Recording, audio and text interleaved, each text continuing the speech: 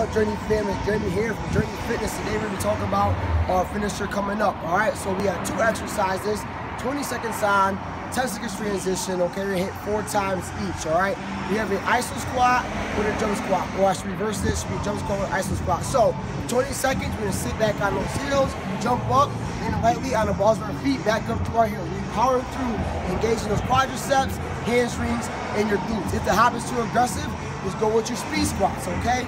10 seconds transition, shake it out, shake it out, shake it out. We're gonna go down to our iso squat.